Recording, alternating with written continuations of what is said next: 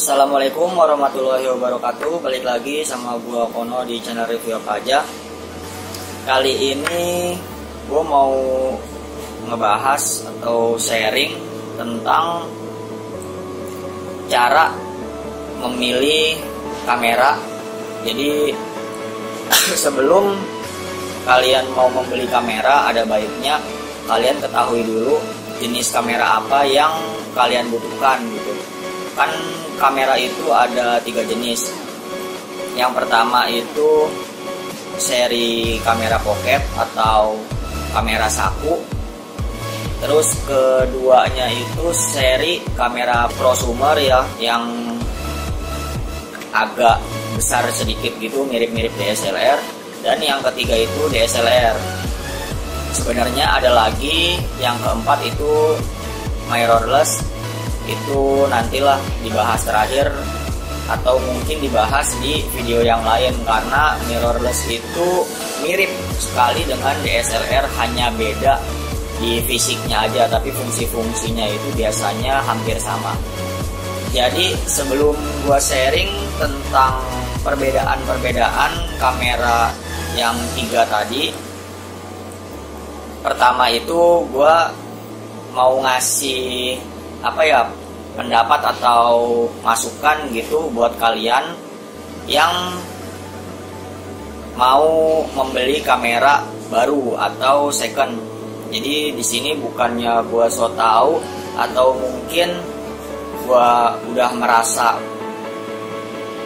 paling tahu gitu tentang kamera enggak. Di sini gue juga sama-sama masih belajar jadi hanya membantu membantu kalian buat memilih mana kamera yang cocok buat kalian pilih untuk kebutuhan yang akan kalian pergunakan.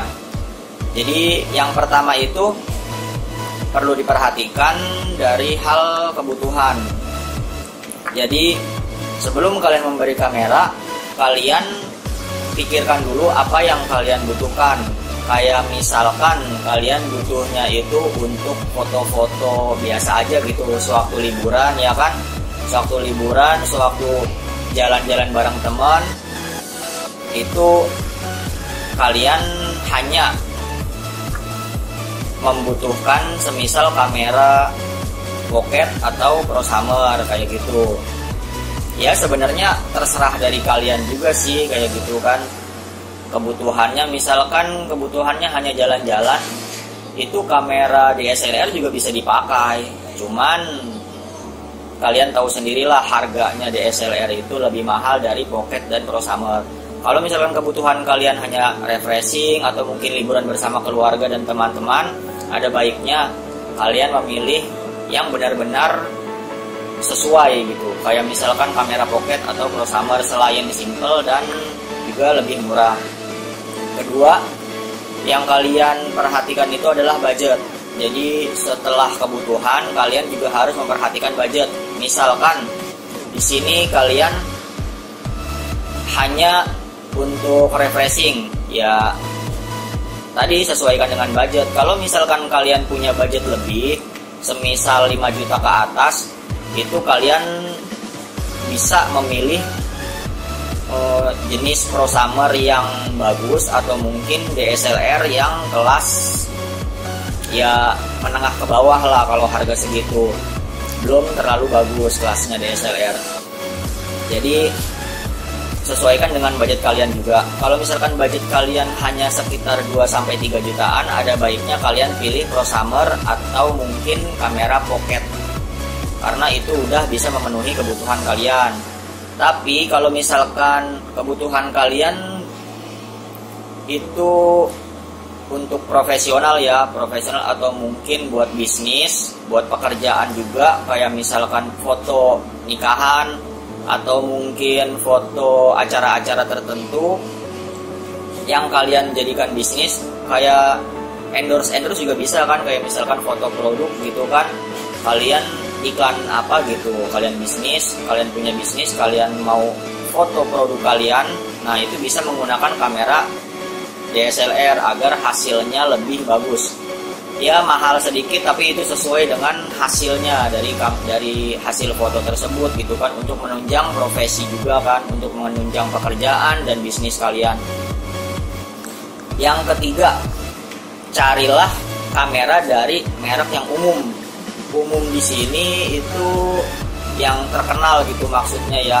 Jadi yang banyak teman-teman kalian pakai juga misalkan di lingkungan kalian itu banyak memakai kamera jenis merek apa gitu kan. Ya di sini gua akan memberi contoh kamera yang umum di sekitar tempat gua. Itu ada mungkin Sony dari Sony terus dari merek Canon dan dari merek Nikon kenapa di sini gua bikin kriteria cari merek yang umum karena gini loh, kalau misalkan merek yang asing, itu kalian juga akan sulit dalam mempelajari trik-trik kamera tersebut. Kalau misalkan merek yang umum kan gini, kalian beli merek yang sama dengan teman kalian, otomatis kalian juga bisa belajar bareng dengan teman kalian yang sebelumnya udah punya lebih dulu gitu kan kamera itu. Jadi kalian bisa tanya-tanya ke mereka gitu kan. Dan juga kalau misalkan kalian beli beli yang DSLR atau mungkin Pro Summer yang biasanya itu ada aksesoris tambahan kayak gitu ya kalian juga bisa tukar pakai atau mungkin pinjam dengan teman kalian. Kayak misalkan lens hood gitu kan. Untuk aksesorisnya itu bisa kalian pinjam. Kalau misalkan kalian lagi butuh atau mungkin kalian bisa pinjam filter filter filter lensa atau mungkin kalau misalkan DSLR kalian bisa juga pinjam lensanya atau mungkin tukeran misalkan kalian punya lensa merek apa gitu kan. Dengan teman kalian yang lensanya merek apa itu bisa tukeran lensa atau mungkin pinjam sementara kayak gitu terus yang keempat itu adalah lihat fisik atau desainnya.